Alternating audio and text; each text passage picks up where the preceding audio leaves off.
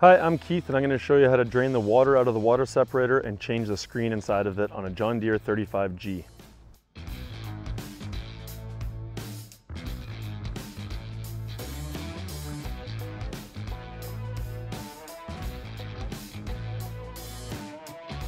We'll get a close up here and we'll see a red ring inside of here. When that ring starts to rise, it floats on top of water. That's way you know there's how much water is in this. In this case, there is no water in this water separator, but we're gonna change the screen anyways, and I'll show you how to drain it out. I like to use a little hose because there's no room underneath it and it'll just make a mess if you open the valve. So I get a little hose, I get myself a drain pan, I push the hose onto the drain, make sure the end is in my drain pan. I have a little valve right here. It's pointed to on right now. We're gonna turn that to off. And what that does is it stops fuel from coming from, from the fuel tank in here.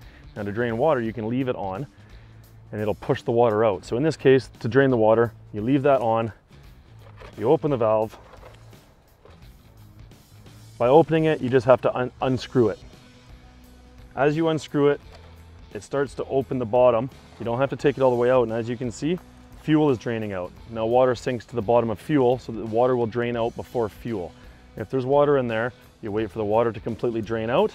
After you get nice clean fuel like it is now, you can screw this valve closed again.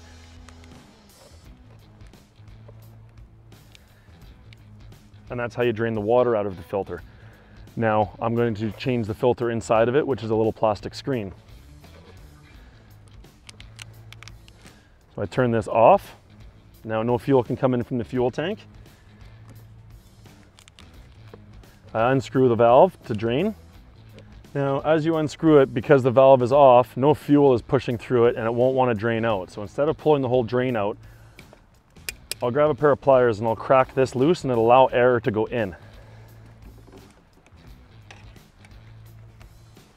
As I unscrew this, it'll start to let air in and it'll start to drain for us.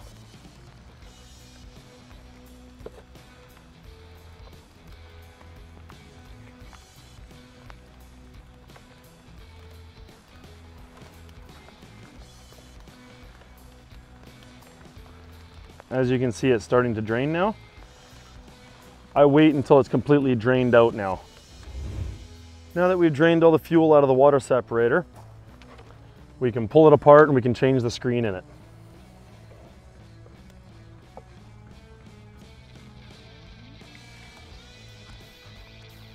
Just unscrews just like any filter.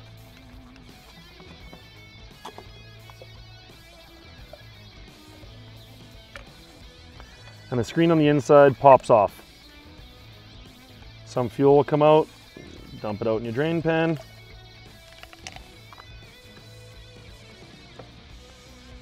I like to screw the drain back in right away.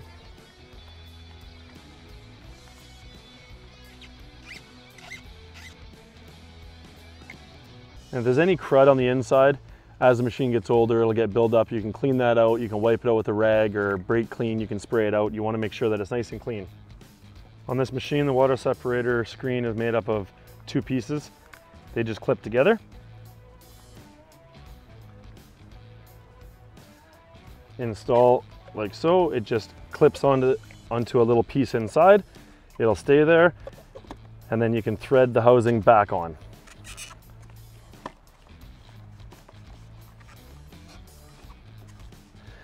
I do this housing up only hand tight, make sure the drain is tight, and you can open the valve back to on. There's a bleed screw right here. I have to grab a tool and we open the bleed screw to allow the fuel to flow in. It's a 10 millimeter socket wrench. And all you need to do is crack it open a little bit and right away you'll start seeing fuel flow in and fill the fuel bowl up.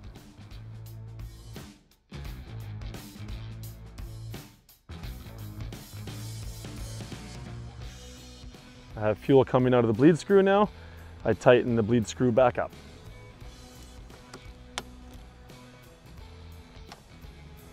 It's a good idea when you're done to grab a rag and just wipe any excess fuel you have.